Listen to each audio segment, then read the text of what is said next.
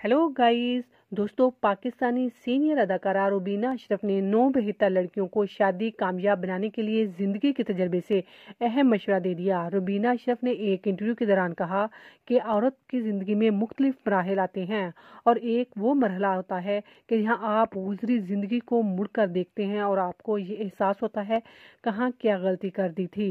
उन्होंने बताया कि नौ बेहतर लड़कियों के लिए मेरा मशरा है कि शादी के शुरू के दस साल अपने ससुराल, शोहर और बच्चों पर इन्वेस्ट कर देने चाहिए।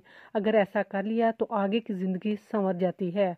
उनका कहना था कि दस साल सुनने में ज़्यादा लगते हैं, लेकिन ये इतना लंबा नहीं होता, लेकिन गुजरने में कम होते हैं।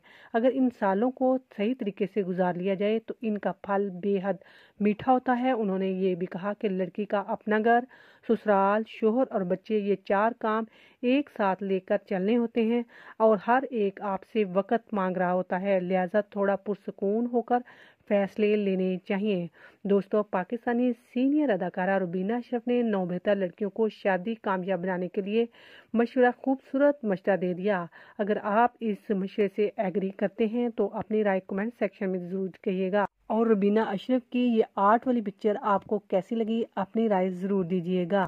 दोस्तों शो विस्तारों के मतलब सच्ची और पक्की खबरें जानने के लिए हमारा चैनल सब्सक्राइब करें। Amazing facts one two three